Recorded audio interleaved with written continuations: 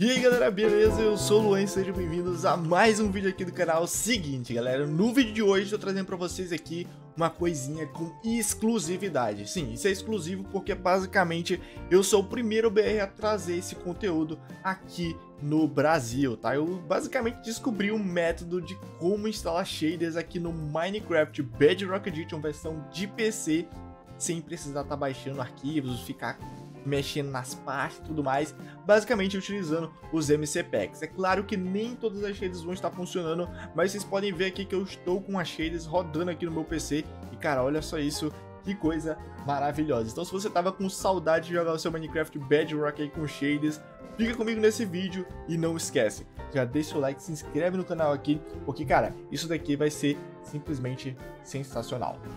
E bom, pessoal, basicamente nesse vídeo aqui eu tô trazendo um método que eu descobri na gringa, onde basicamente a gente consegue estar tá instalando shaders utilizando o MC Pack aqui no Minecraft. Sim, MC Pack. Eu tava com saudade disso, meu Deus do céu.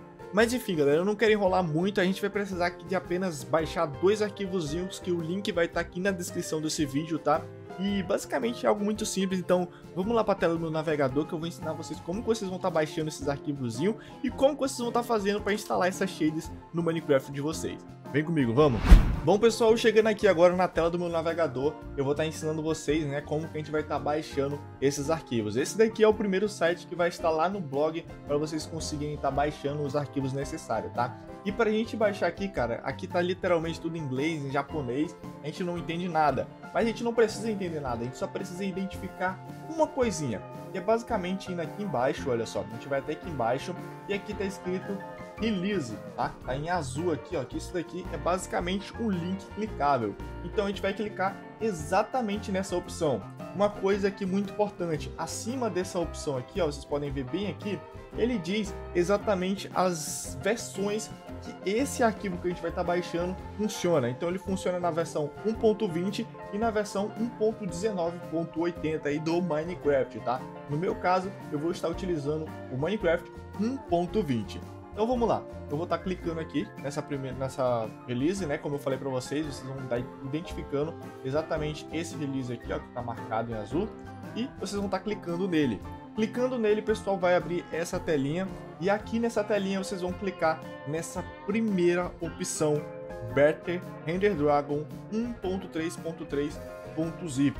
Eu não sei, mas acredito que se você estiver acessando esse vídeo depois, pode ser que essa versão tenha atualizado em 1.3.4, 1.3.5, 1.4.2, não sei. Mas a gente vai clicar aqui nessa primeira opção que tem o ponto .zip no final. Show?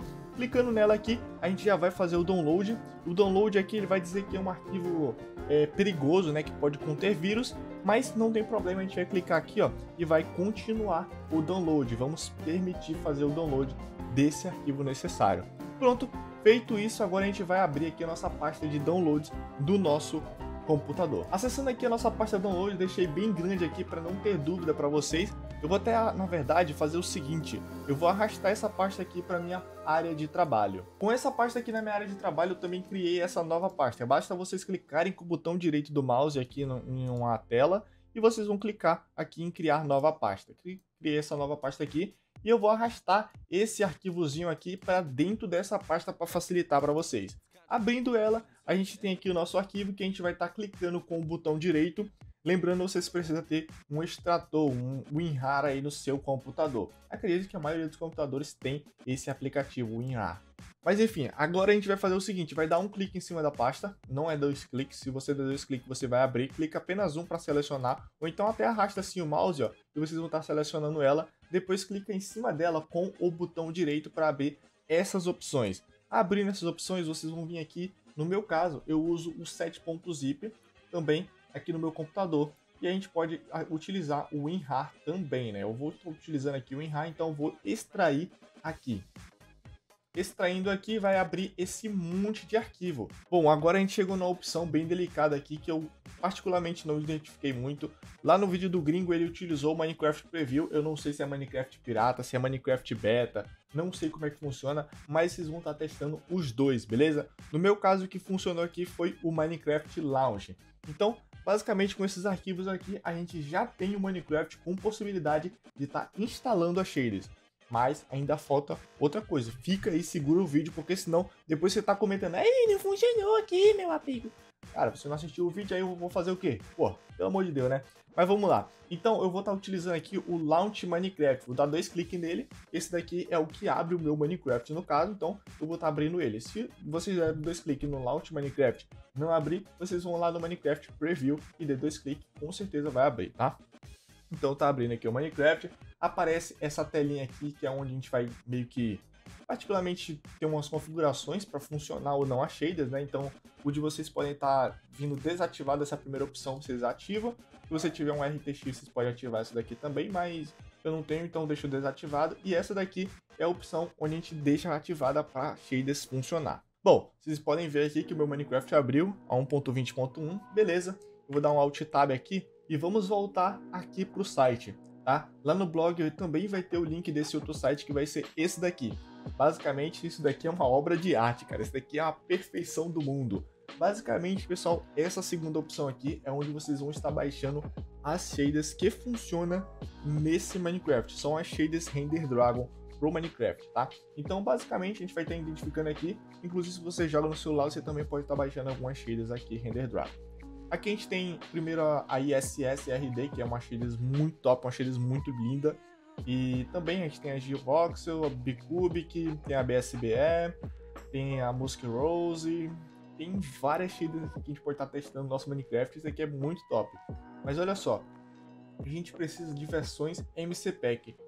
E seguinte, no meu caso aqui eu vou estar baixando a Bicubic Shaders, que é uma shaders que eu gosto particularmente, a gente precisa identificar aqui o MCPack, tá? Vocês podem ver que tem Android, OS, Windows, MCPack. Então a gente vai ter que baixar sempre MCPack. No caso dessa daqui, vocês podem baixar que tudo isso daqui eu acredito que é MCPack. Eu baixei, no caso, essa daqui funcionou tudo perfeitamente, tá? É, no caso, cadê a Bicubic aqui?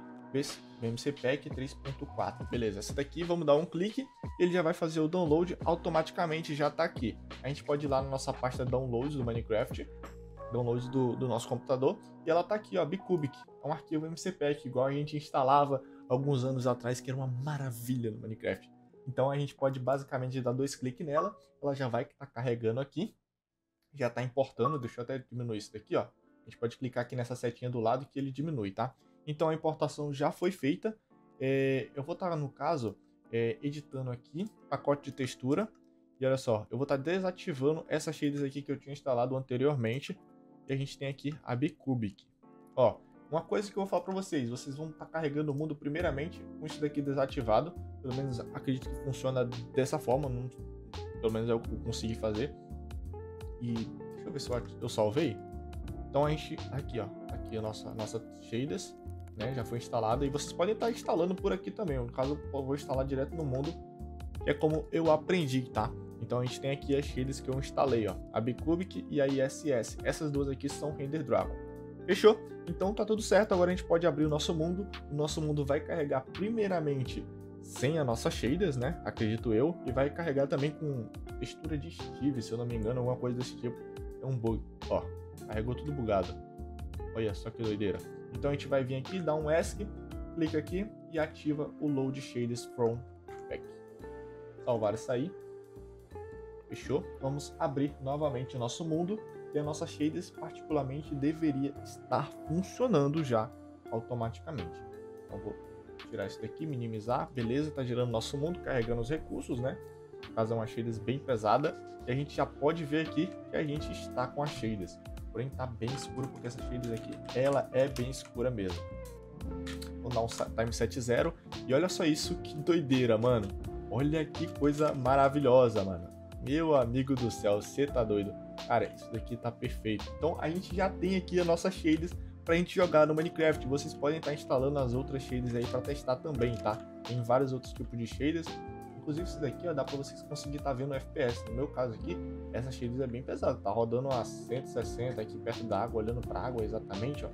Chega a bater 100 FPS. Meu computador é um computador bem top, mas também tá com render distance, né, que meu amigo tá muito alta.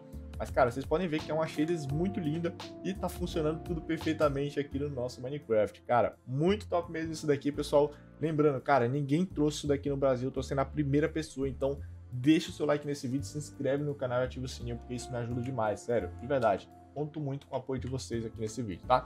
Mas é isso, vou ficando com esse vídeo por aqui, espero que vocês tenham gostado. Se você gostou, não esquece, deixa o likezão, se inscreve no canal, ativa o sininho e valeu, falou e tchau!